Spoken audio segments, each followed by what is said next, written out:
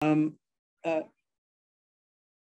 Bethany, Bethany and I had discussed a few topics that might be interesting, and so um, uh, I'm going to jump in with uh, what would be required for a territory to become a, a state, um, because that's really um, where the constitutional history in New Mexico starts. Uh, it typically starts with an enabling act uh, introduced in Congress that it's not required. New Mexico had several. Um, the one that really got us rolling was in June of 1910. Um, uh, for a territory to become a state, uh, a constitution had to be proposed. It has to be accepted by the population by vote. So in 1850, uh, right as we're becoming a territory, we actually approved uh, a constitution and we sent it to Washington. On its way to Washington, President Zachary Taylor, who was in favor of New Mexico becoming a state, he died. Um, and so that constitution was never approved by the president and by Congress. Another constitution um, was made in 1872 and it went to the voters and the voters rejected it. In 1889, we had another constitution that went to the voters, and the voters rejected it. Um, finally, uh, following a constitutional convention in 1910, on the 21st of January of 1911, the voters approved a constitution. Now, one of the provisions to become a state was that it had to be approved by the president and Congress, and Taft um, and the Congress did not like the proposed New Mexico Constitution because it was very restrictive. Um, and so they uh, rejected it and called for a, an amendment to the Constitution that would make it easier to make amendments to the Constitution. That was that had to be done, although it did not have to be approved. The voters could have rejected the action of the Congress, but in fact they didn't, and that was called the blue ballot, a special ballot to change the Constitution before it was ratified. So, as far as I know, New Mexico has the only Constitution that was amended before it was adopted. Um, and then um, the Congress acted by simple majority vote on a joint resolution to grant statehood. So that was basically the process whereby uh, we got a constitution in place and we became a state. Now, that constitution has been uh, described as being uh, a conservative document. Um, it just to give you a couple of ideas of the conservative ideas that it embraced. Um, it did, did not take up the issue of, of women voting. Women were only allowed to vote for school board elections. So it missed an opportunity that other states were already, uh, new states were already embracing. It evaded the controversial issue of prohibition um, it rejected all of the national progressive ideas, and that capital P progressive, the ideas that, that were being uh, sweeping the country. And one of the things that is most characteristic of the Constitution is that it was made nearly impossible to make amendments to it. Um, and this was done intentionally. The drafters of the Constitution felt like they had created pretty much a perfect document um, that didn't really need to be amended or wouldn't need to be amended. Um, and so um, the Constitution, as adopted, um, has 24 articles.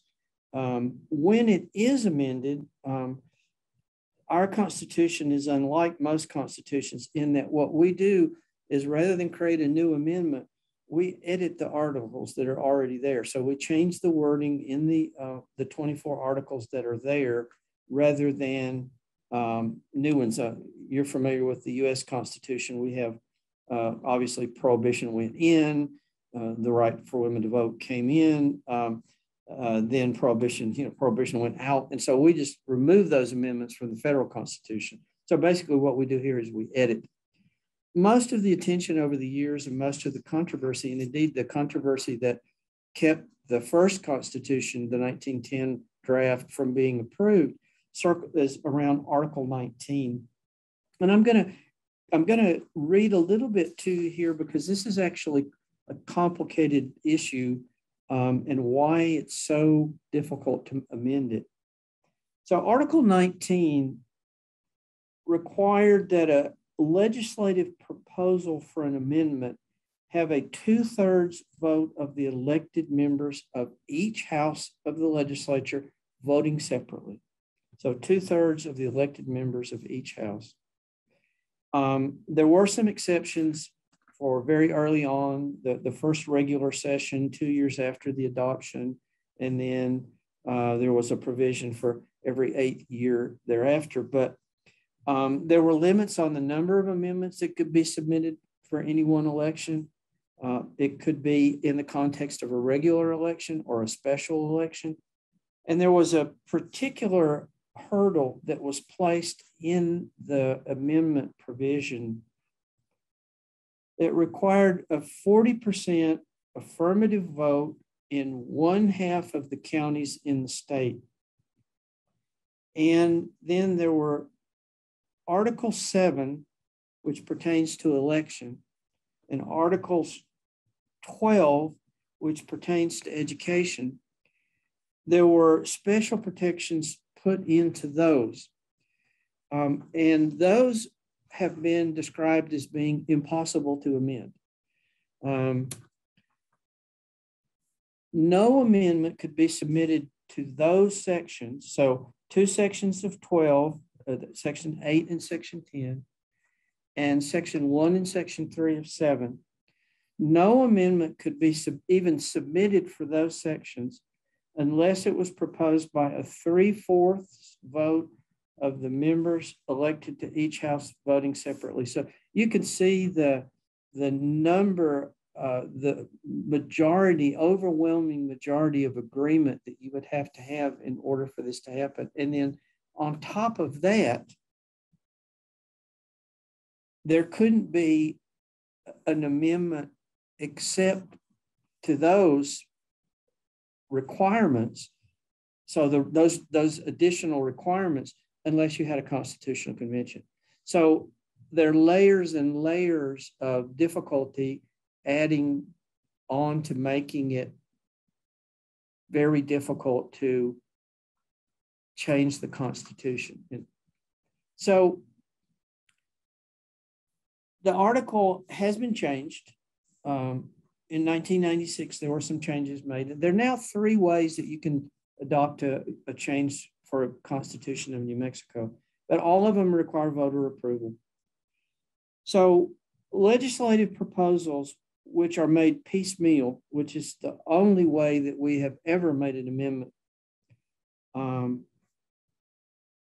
or a constitutional convention, and we'll get to that in a minute, um, or, and this is what was added in 1996, you could have an independent commission recommend. So we now have three ways, but the only way that we've done it is what it was called piecemeal amendments. So just to give you an idea, from the from 1950 forward, in the legislature, there have been more than 3,000 proposals brought to the legislature. Now, not that passed.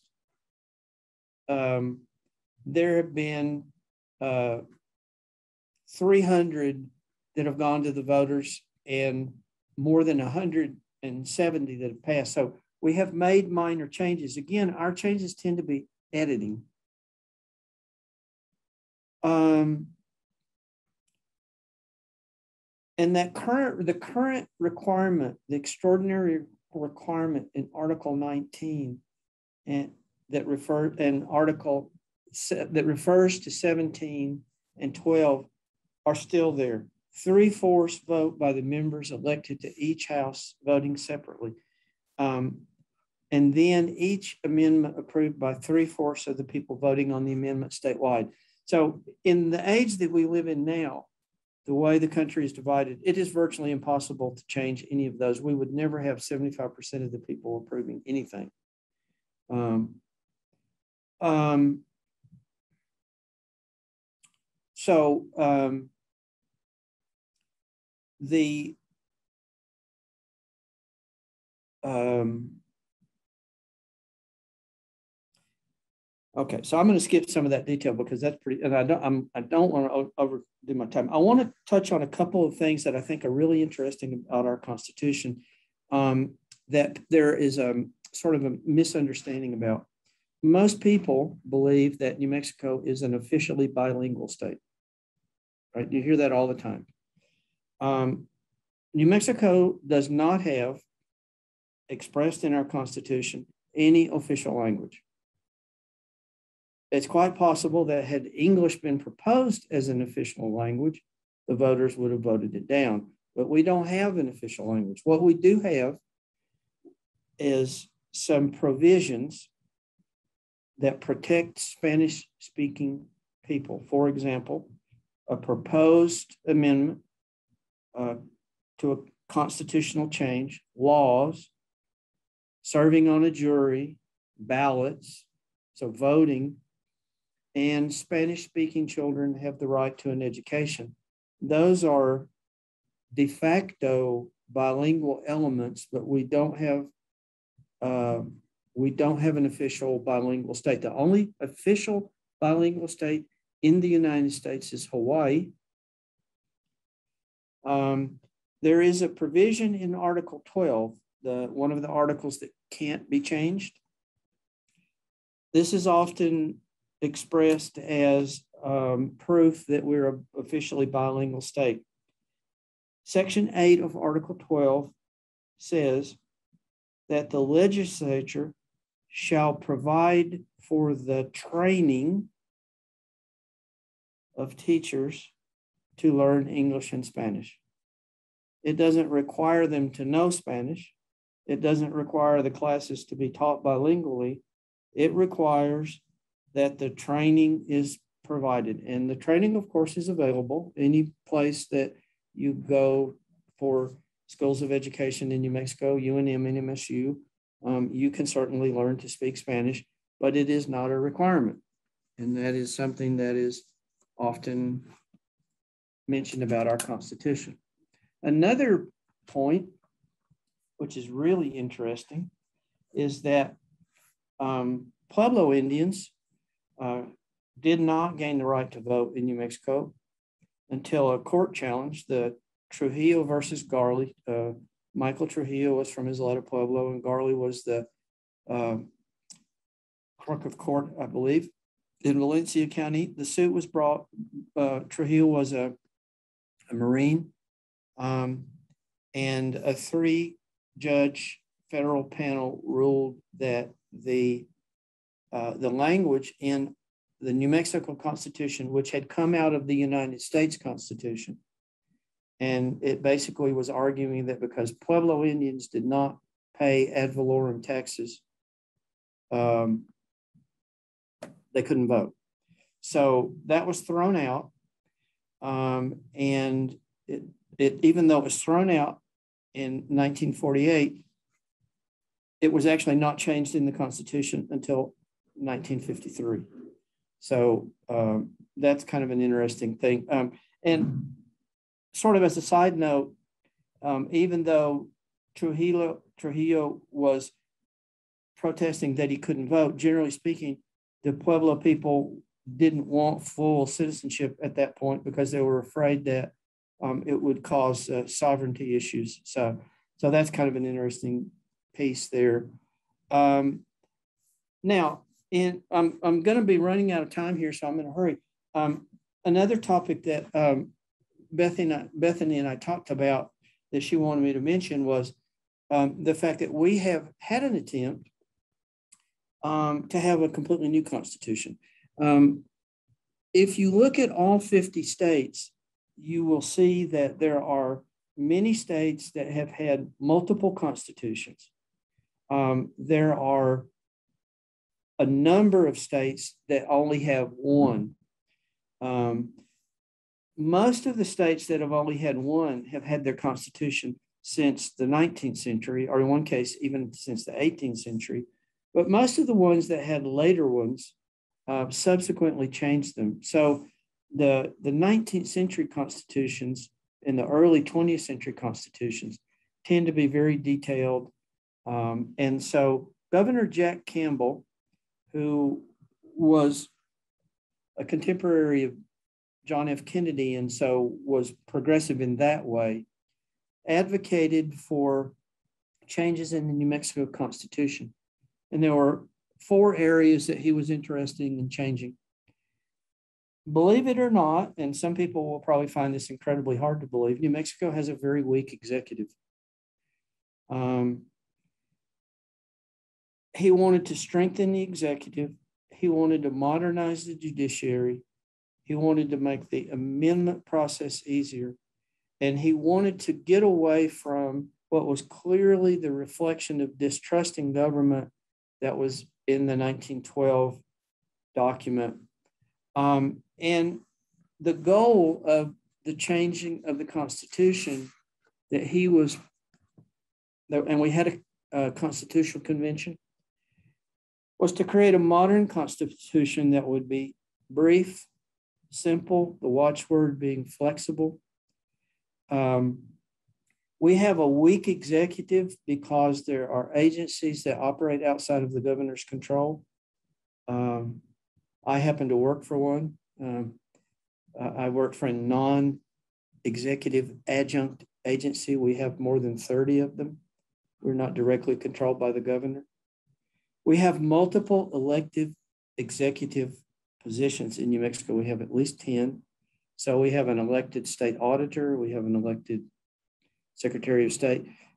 Many states have that, but many states don't. Um, there are agencies, boards, and commissions that operate outside of the governor's control. Um, some of the members of those boards and commissions are ex officio members and not appointed by the governor. And what Campbell in the Constitutional Convention in 1969 proposed was that there would only be two statewide elected officials in New Mexico. And that would be the governor and the lieutenant governor. And that would give us a very strong executive. Uh, the convention concluded after start. They started in 1963. They concluded in 1969. They presented the new constitution to the public, and in December of 1969, the people of New Mexico voted the new constitution down. Um, and so, at present, the only way we can change our constitution is by piecemeal. And I think I did it, Bethany. I think I'm right on 20 minutes. Yeah, that was that was right on time. okay. Um, thank you for that. Um, it is uh, it, it's super fascinating to hear about um, sort of a 70 year, uh, almost a century long journey. Uh, I'll open it up in case anybody wants to ask a question first. I have a I have a couple questions of my own, but again, anybody can feel free to um, unmute and ask some questions or type it into the chat, whatever works. Well, I'll, I'll ask a quick question. Yeah. Of former state historian, Dr. Hendricks. Okay. Uh, talk, can you talk a little bit about what finally was able to happen where we now have consolidated elections and the, the school board election did not have to be the 30 days apart from that? uh, well, Janet, you obviously have, I mean, this is a conversation, so why don't you talk about it? No, you don't. You're, that's why they pay you the big bucks there at the. No, no, they don't. They don't pay me the big bucks to do this. I know. I'm just giving you a hard time. No, go ahead. And it's a topic near and dear to your heart, and I know you have so share with us your thoughts. Well, Seriously. no, just I know that the election coming up uh, here in Albuquerque on November 2nd uh-huh.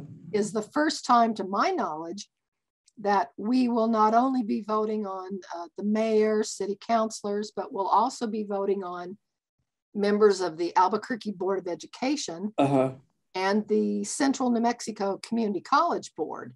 Right. And, and all this was enabled finally yeah. after years of changes and and i don't know if the constitution got a, actually got amended or if if the laws just superseded the constitu- Constitution to enable. Well, oh, okay, so that wouldn't happen. Um, I don't. The laws wouldn't supersede the Constitution. That's not how it works. Oh. Um, but I don't. I'll be honest with you, Janet. I don't. I know that that consolidated election has happened. I'm not sure um, whether that was a statutory change. Um, I, I honestly don't know, and I apologize. I, I, I did not prepare for that question. That's all right. And if I could, I would have muted you so you couldn't answer answer me that. I don't know. If somebody knows how that came about, please hold forth. I don't know exactly how that came about. Well, I, I yield the floor to the next question. Okay.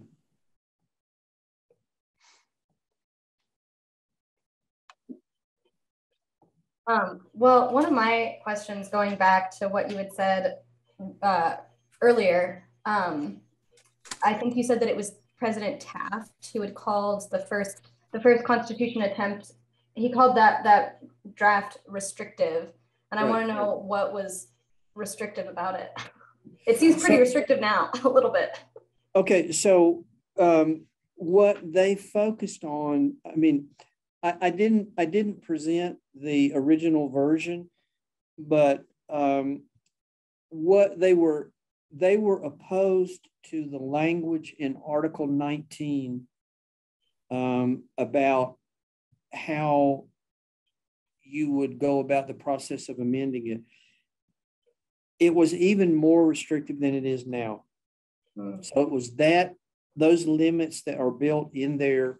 Um, I mean, even even though now when you look at it and in the reality, see, I mean, you have to remember in when this Constitution was written, um, it the the breakdown between Republican and Democrat was very lopsided, and so that there was really not very much concern um, that it, that anybody would really be opposed to it. The state was overwhelmingly Democratic, and and so um,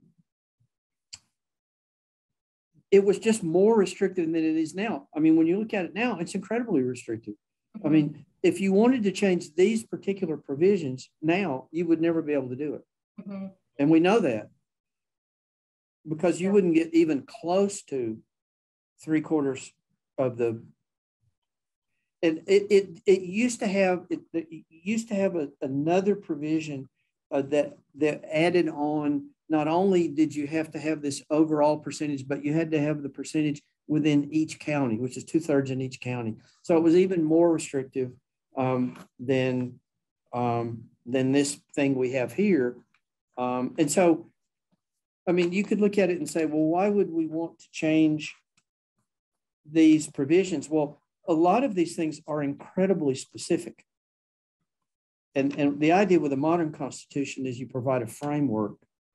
Um, I mean, obviously, our constitution has been um, is not a modern, it's an 18th century constitution, right? It, it, it's a very specific, very long document, right? Um, and a modern constitution doesn't have all those provisions. Um, and so they wanted it changed. And again, that went to the voters, and the voters could have rejected the will of the president and the Congress and kept all of those provisions in there if they wanted to, but they didn't.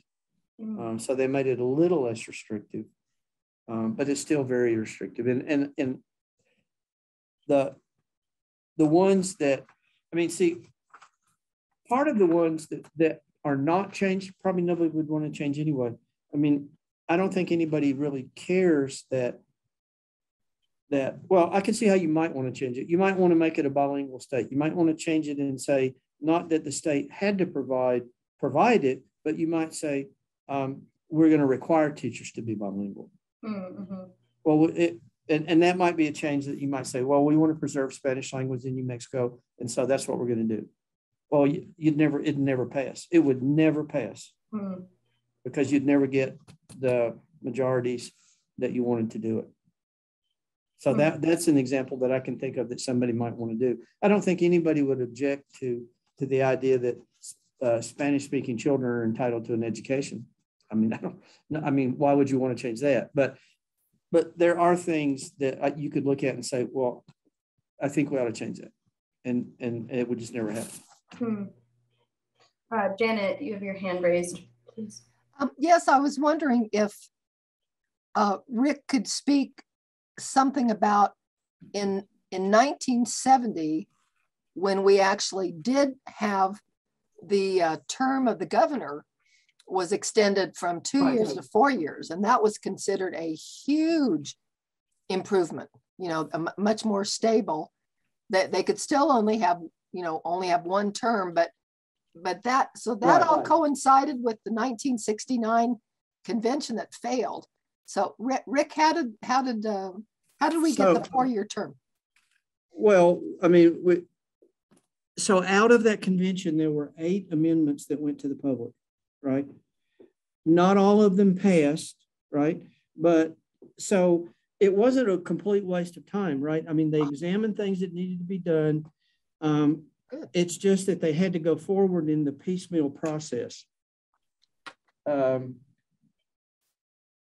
Brandon asked a question, then it went away. Yeah. Yeah. Do you want me to read it? Uh, um, yeah, let me jot it down because I it was about Article. I, don't remember. Section five of Article two, uh, which states the rights, privileges, and immunities, civil, political, and religious, guaranteed to the people of New Mexico by the Treaty of Guadalupe Hidalgo, shall be preserved inviolate and do you uh, yeah. think this promise has been realized? Oh, no, this is observed in the breach. I think we all know that.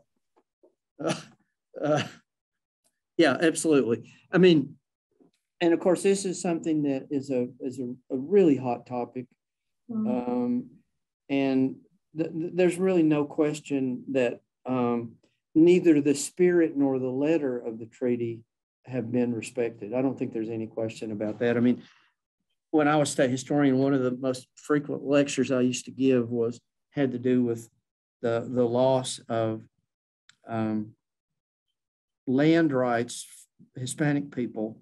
Um, I mean, I can't remember the numbers off the top of my head, but um, if if you look at um, people who had legitimate claims to land that should have been respected under the treaty, um, you know, it, it's close to 90% that was rejected, or maybe even more than, than 90% of those claims were rejected.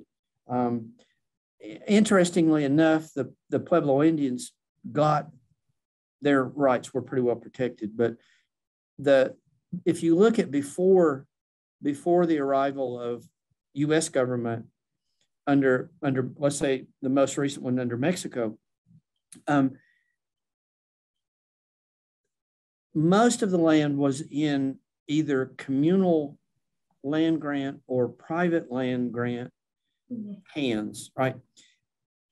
And because the federal government largely rejected the, the Spanish and Mexican concept of commons, um, if you looked now, what you would find is that well, first, the land transferred to the public domain and became federal territory. And then to provide for, say, for schools, the federal government transferred a certain amount of land back to the states. So if you look at land ownership in New Mexico under Mexico and, and then currently, you'd see that the federal government and the state government are outsized owners of land and the people who would have uh, had a legitimate right under the treaty to that land um, lost most of that land. I mean, that that's pretty much a generalization that holds. Um, and of course, one of the big problems is what would a solution to that look like? Right? I mean, you there's um, the land that's uh, the two parcels that are Carson National Forest is belong to other people, belong to private individuals and belong to communities. Um, that that's an example here in the basically in the Santa Fe area of, and so they've got a new um, draft use plan to try to address some of the traditional uses. Um, and of course, there would be lots and lots of land grant heirs out there. So I've always wondered what a solution would look like, but it's a problem that has not, not been resolved. Um, you know, some of it was a cultural conflict. If you imagine when the US moved in and you had the idea of the Jeffersonian yeoman farmer occupying the land and to, you know, to populate is to govern and that sort of thing. Um, that was a big clash when, when the US started to arrive in most of the fertile land, certainly the land in the along the Rio Grande and in the tributaries was already in somebody else already owned it.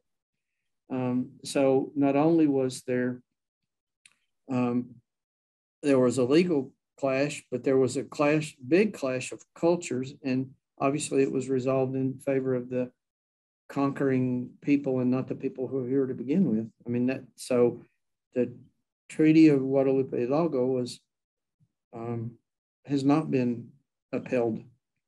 I mean that's my opinion anyway. Brandon, are you there? Is that what you wanted me to talk about? You've gone away. That's okay. Sure thing. Sure thing, Rick. Thank you. Yeah. Okay. Um, when was that treaty written? Uh, 1848. Okay. And that was a treaty that was imposed on Mexico, right? Uh, the mm -hmm. United States military was occupying Mexico City. Hmm. In the outskirts of Mexico City is um, now, I mean, where you go to see the Basilica of Our Lady of Guadalupe. Uh, that community is Guadalupe Hidalgo, Hidalgo from Father Hidalgo. The name has been changed. It's now part of Mexico City, but it was in the outskirts. And that's where the treaty was negotiated. But it really wasn't that much of a negotiation. Uh, the United States was imposing the terms that we wanted to on Mexico. And the treaty, as it was negotiated and signed, uh, was not ratified by the US Congress. So, a number of the key provisions that Mexico thought they were agreeing to and had agreed to when they signed it were not were not ratified by the Congress. So not only was it imposed on them, it wasn't what was eventually imposed, what the current treaty is, didn't even have the, all the provisions that Mexico had agreed to. So um, hmm. it was a bad deal. and of course, many treaties are imposed on people under those circumstances. We think of the Treaty of Versailles into World War One. I. I mean, those kind of things.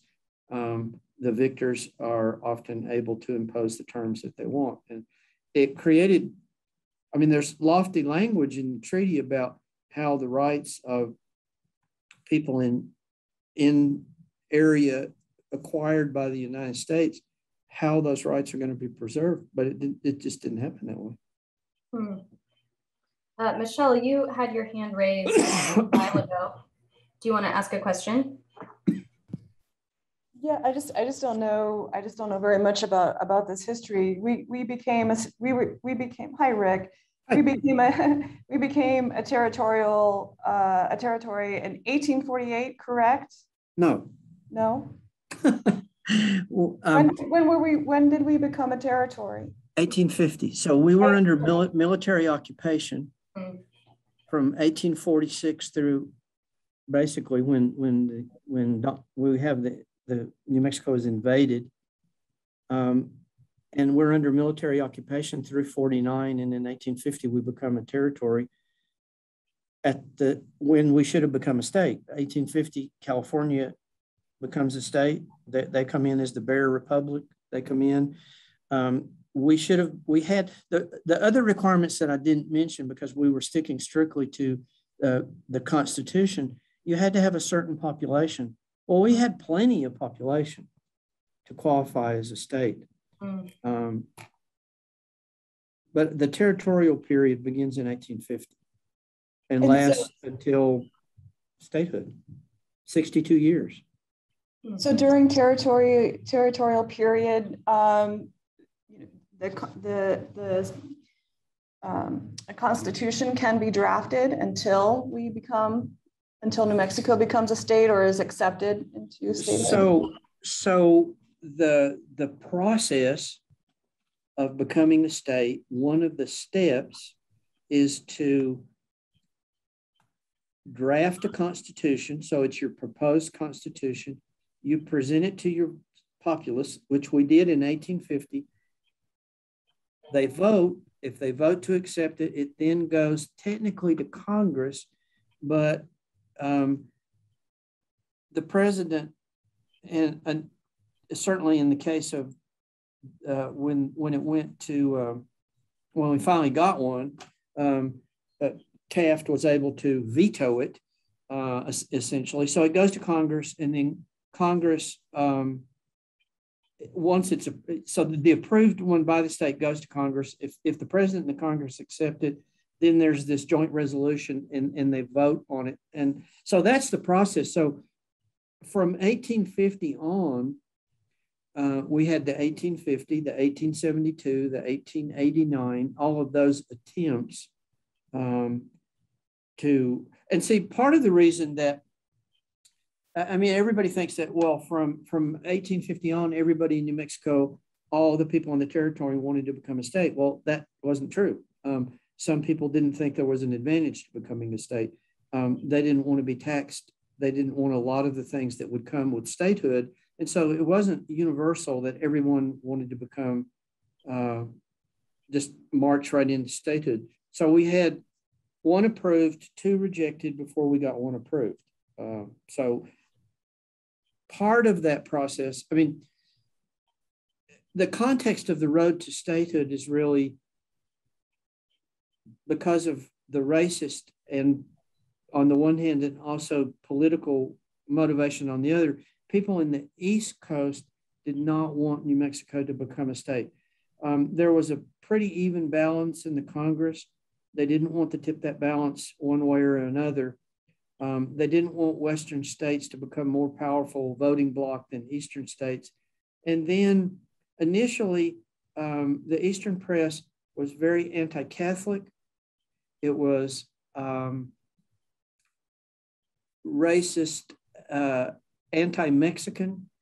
So it, it was very common for the press and also visitors from Congress who would come out to New Mexico to say the people are ignorant, they don't speak English, um, they're too Catholic, um, they're too Mexican, they're too Indian.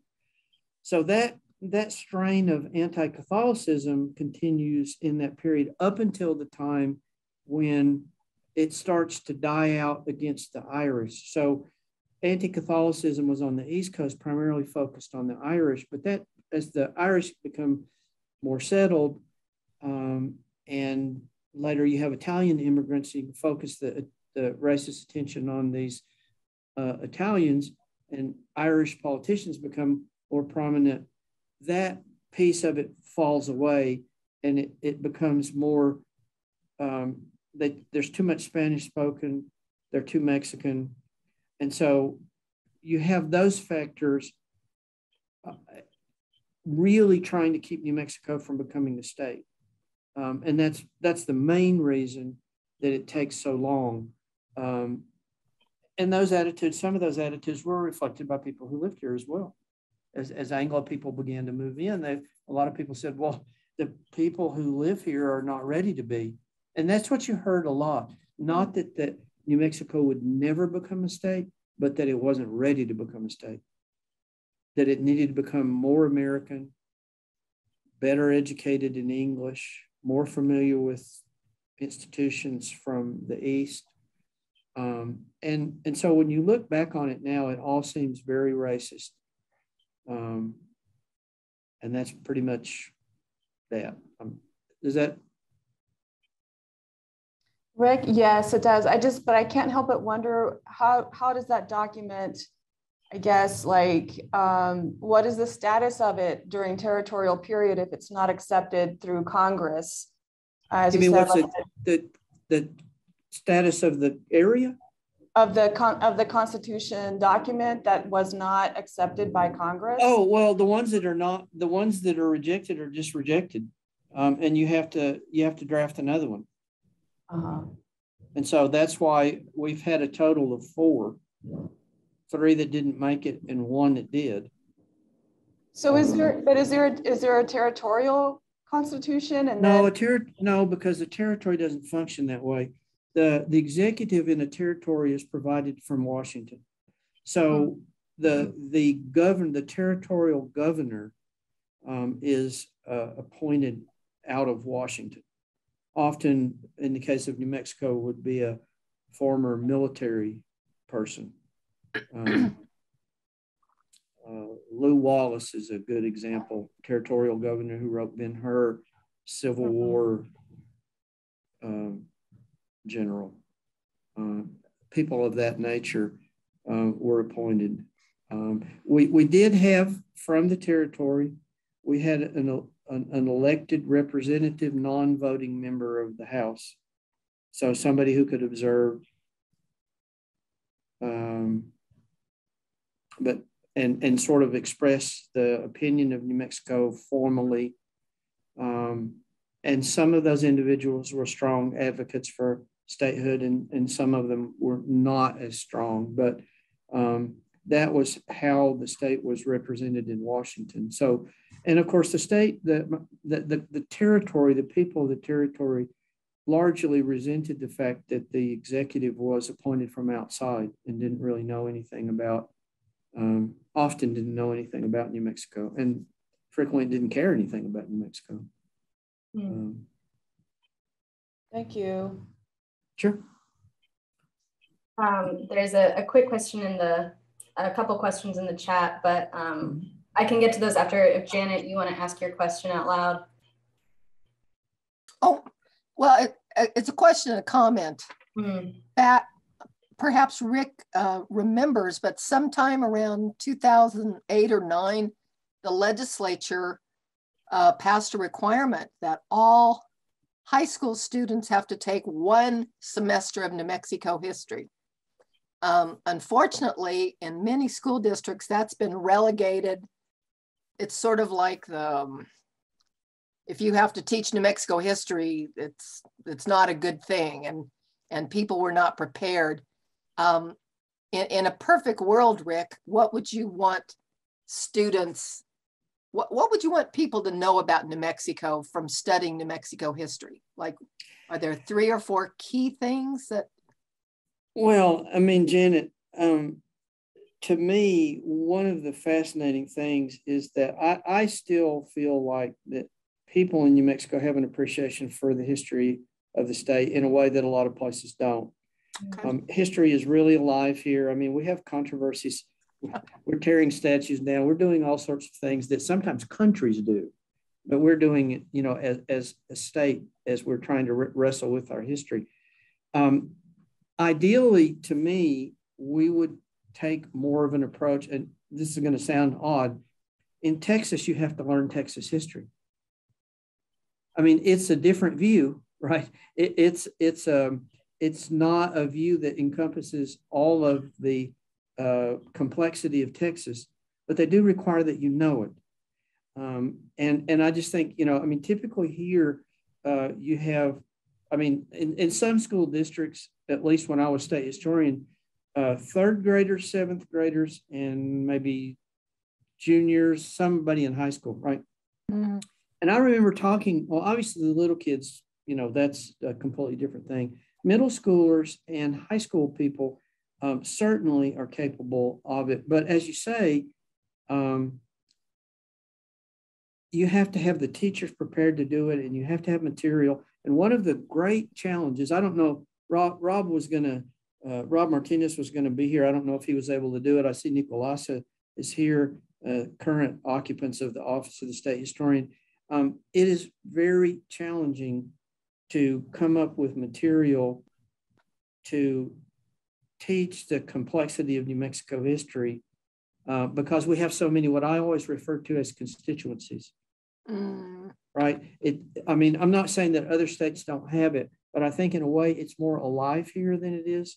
So I mean, I couldn't really point to. I mean, it would be wonderful if people knew. Um, I don't know that the Treaty of Guadalupe Hidalgo and all that that has meant um, that would be awesome. But um, uh, having written a book about it, the, the history of the Pueblo League and how that secured, I mean, why New Mexico's indigenous communities have a land base and nobody else has one quite like that, right? I mean, that would be something yes. I would love for people to know. Why, why is that? That's one of the things that makes New Mexico unique. But so is our history of rocketry and all that stuff. I mean, you're you're really talking to the wrong person to name three or four things that would be important. I mean, I think history should be incorporated in all of the disciplines in the same way that science and math should be, it, it ought to cross fertilize. I worked at one time on a curriculum for the community of San Elizario in Texas. And what we were doing was embedding history in um, math and science curriculum. Mm-hmm. So, I mean, there are ways to make it not like, oh my gosh, I've got to go take history this period. Boring, yeah. right? But you can teach the history of science and teach the history. Uh, you can teach history as well. And to my mind, that would be how I would like to see it done. And there have been efforts in that way. I mean, UNM's education department, I know years ago um, was trying to do a lot of that, but it's a challenge. Okay. Thank you. more than you wanted to know. I know, Jen. Oh, no. Thank you very much. Thank yeah. you. Um, getting to the couple questions that are in the chat, uh, uh, Ellen asked that if, if anybody is interested in learning more on this area, um, what and where are the good resources? Is there a collection at the archive? Are there specialized archives? So, I mean, I, I would say that if you're interested, say specifically in the the constitutional history on the the website of the Office of the State Historian, which is newmexicohistory.org, um, there is uh, under I think it's under special projects. There is a little sub website that's just about the Constitution. So mm-hmm. there's a lot of information about there. That website in general newmexicohistory.org has a ton of information. um, I mean, if you're interested in just New Mexico history in general, and I hope you would be, uh, Rob has a YouTube series, New Mexico in 10 minutes. I think he's up to 50 some or more episodes. Um, he's got a column that's in the Santa Fe New Mexican. Um, and there, there's lots and lots of places. Um, uh, there are a couple of good books um, uh, about the process of becoming a state. My favorite one is the 47th Star, David Holtby's book on the process of New Mexico becoming a state. There's a lot of uh, just wonderful history about New Mexico in that in that whole 62 year period. Uh, highly recommend that book, and that book relies on a lot of source material here at the State Record Center and Archive. So yeah, there's there's a lot of good material about that. I put the, the New Mexico History.org link in the chat for anybody who wants to check that out. Um, and the final question that we have from Yania, uh, interesting comments about why New Mexico wasn't considered ready to become a state in light of the statehood movement in Puerto Rico. Are there any lessons for Puerto Rico from the New Mexico statehood journey? Wow, that's a great question. And we actually looked at that whole thing when we were looking at some of that. I mean, um, yeah, I mean, and I think Spanish language is probably a big part of that. That is something that, you know, the, the United States, even though we have people from literally all over the world here, um, and there are still many, many people um, who don't speak English at home. It's not their first language. Um, and, and we will have uh, uh, another influx. We already have had an influx of people who uh, from Afghanistan, who many of those people will not speak English. Um, we still are a country that overwhelmingly is monolingual English. And so I think part of the problem that we had here in New Mexico was that we didn't have a very well developed education system to begin with. Um, it was very poor, as it still is. Um, and we did have an awful lot of, uh, and awful is not the right term. We had a, a wonderful number of, of, people who only spoke Spanish, can only communicate in Spanish. Um, and I do think that that's part of the challenge that Puerto Rico faces. But of course, it, it really depends too, I guess, on what your point of view is. If if if your point of view from the standpoint of a Puerto Rican who wanted to become uh, wanted Puerto Rico to become a state, then you would have other parallels um, because there would be, if you looked at the early, uh, right before the statehood period, when the when people in New Mexico were arguing over is there a real benefit? Uh, what's the economic cost to us? You know, the transfer payments that would go to Puerto Rico now would be far in excess of uh, what they would be. I'm sorry, my phone's ringing.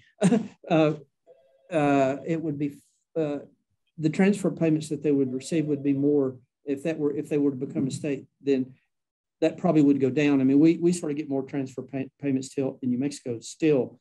So there's some issues. But if you wanted to be a state, you would have one view. And I don't know if the person who put the question in, I don't know. But if what you were interested in was Puerto Rico becoming independent, then you'd have another issue. Um, New Mexico was not really uh, advocating becoming independent. Um, the only issue that we really had was would we come in with with Arizona um, together somehow? That up until 1863, Arizona territory, in New Mexico was all New Mexico, and then Lincoln divided it. So there, in, in after 1850, there was a period of time, and even after that, even after they split, um, there was what was referred to as jointure, um, and there were propositions um, about bringing the two states in and have them become states at the same time. And interesting enough, say 1906, uh, Arizona already had its own unique political characteristics very different from New Mexico. And so New Mexico voted, voted overwhelmingly for joining at the same time as Arizona in this jointure movement. And Arizona didn't want to, they didn't want to join at the same time New Mexico. We ended up in the same year, um, but not at the same time. So, um, and interestingly, also their initial um, constitutional piece presented some problems as well. But so I, I, there are parallels to the situation in Puerto Rico, but there are also some things that are very different. And I think it depends on the political attitude of, you know, whether you're pro-independence, pro-territorial, you know, whatever. I mean, it's it's very different. And and I don't know what the current majority opinion is in Puerto Rico. Um, I, I, just don't know, but there certainly are parallels. Maybe, uh, uh, Yanya, you you can enlighten me. well, I don't have a lot to to say to enlighten you. I think you you touched on a lot of things. I, I agree the language thing is probably um, a huge big deal, but I just some of the terminology that you used in describing the New Mexico journey was is still the terminology that we're using today yeah. to describe Puerto Rico in terms of a non-voting um, representative in Congress, or you know, uh, referring to Puerto Rico as a territory. Mm-hmm. Um, those it seems like that when you talk about it in terms of New Mexico, it sounds like it's you know old history that was so long ago, and yet um, it's something that is actually still present right. in U.S. history through through the history of Puerto Rico and its relationship to the states. Um, but I think, and I also appreciate you pointing out the the main difference, which I think is that New Mexico wasn't advocated for independent, advocating for independence at any point, mm-hmm. um, and there has been that movement on and off present in Puerto Rican history.